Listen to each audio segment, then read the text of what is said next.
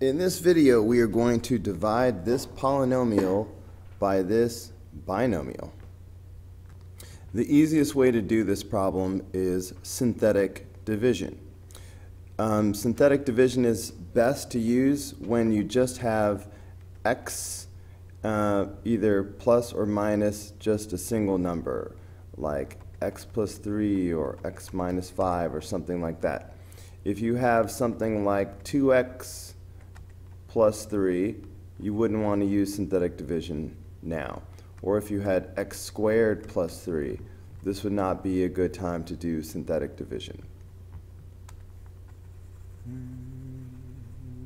Okay, but we have just x minus 1, so synthetic division will be good. So here's how it works.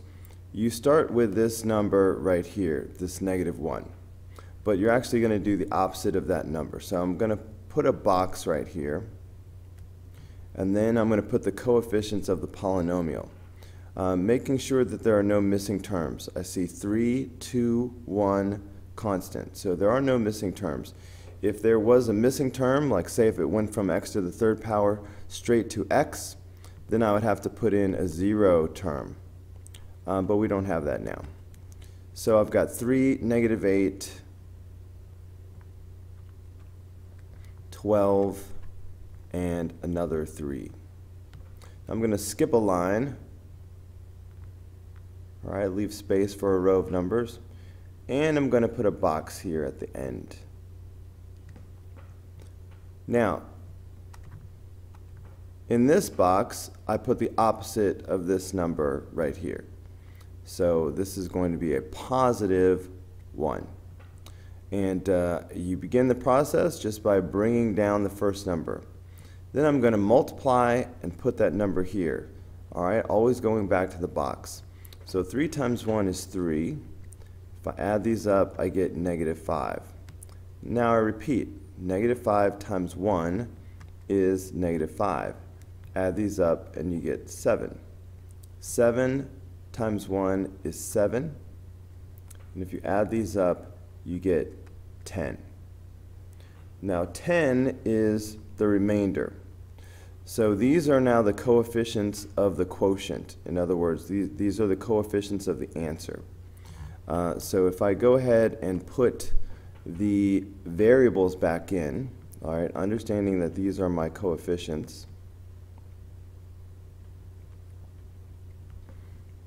Okay, then um, this number at the end must be the constant. Then that makes this the x term, which makes this the x squared term. So it's easier if I just go from right to left, knowing that this number will be the constant, and then the x term, and then the x squared term. If there was another term, it would have been the x to the third power term.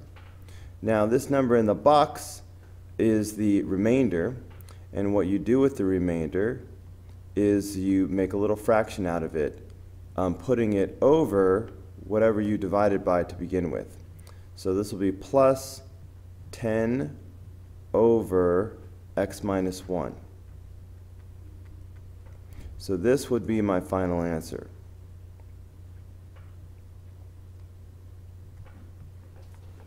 Okay, and now let's compare that and see which choice that was. Let's see, 3x squared minus 5x plus 7, and then 10 over x minus 1. Well, there we go. A is the answer.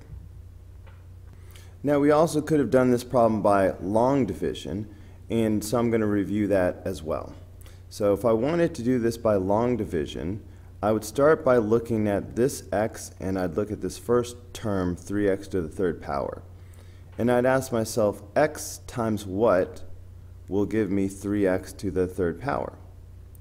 Um, well, so uh, definitely I'm going to need a 3, but then x times x squared will make x to the third power. So bottom line, the answer to that question is 3x squared. If I do x times 3x squared, that will make 3x to the third power. Notice I'm lining up my like terms. This is the x squared term, so I'm going to put that term above it. It just helps you stay organized. Okay, so once you have that up there, what you do is the distributive property. You take this and you multiply it back by each one of these terms, and you write it underneath. So I'm going to have um, 3x squared times x, of course, is the 3x to the third power as we planned. But we also have 3x squared times negative 1. That'll make negative 3x squared. So I'm going to draw a line. So what you do now is you subtract. Okay, when you subtract, you just wind up changing the signs is all. So now these are going to cancel out. So that's just, those will be gone. And I have negative 8x squared and positive 3x squared. So that's going to make negative 5x squared. And I can just bring down these other terms. So bring down the 12x and bring down the positive 3. And then you start over again. So again, I'm looking at the x, and now I'm looking at negative 5x squared. So x times what will be negative 5x squared? Well, that's going to be negative 5x. x times negative 5x will give me negative 5x squared. So once I know that, then I'm going to take that negative 5x and do the distributive property with it. So I'm going to multiply by the x, and I'm going to multiply by the negative 1. Of course, negative 5x times x is negative 5x squared, just as we planned. Negative 5x times negative 1 is positive 5x, all right? Negative times negative is positive. Go ahead and draw my line. And then we subtract by changing the signs.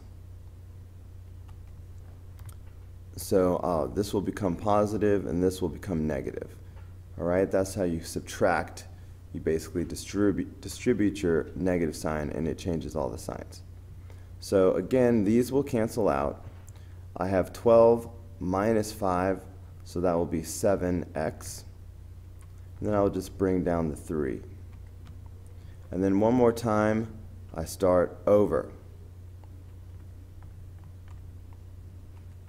Okay, I'm looking at the x and I'm looking at the 7x. x times what will be 7x? Well, that will be 7. x times 7 is 7x. So I put the 7, and once I have the 7, I do the distributive property like I've done before. So 7 times x is 7x.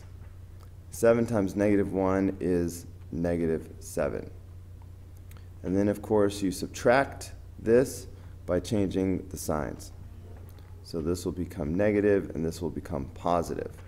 So these cancel out and this makes 10. Okay, so we've reached the end. We've already gotten to the constant. So that means this 10 is the remainder. And again, just like we did when we did um, synthetic division, what you do with the remainder is you add it on the end in a fraction. All right, you put the remainder over what you divided by. So 10 over x minus 1. So this is the quotient, all right? This is the answer to this division problem. And of course, it is the same answer that we came up with by synthetic division, A.